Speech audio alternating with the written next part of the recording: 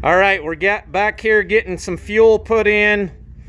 They told us they are ready to go. We're just checking the oil and everything, making sure they're good to go. We're gonna start letting customers drive them, experience them, and we're gonna get their reactions right now.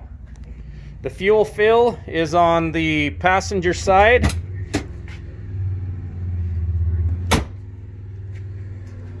The door's shut nice and tight.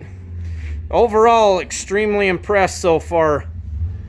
We're just retorquing all the lug nuts, making sure everything's good, checking oil, and we're gonna let customers go experience them right now and get their reactions. Stay tuned.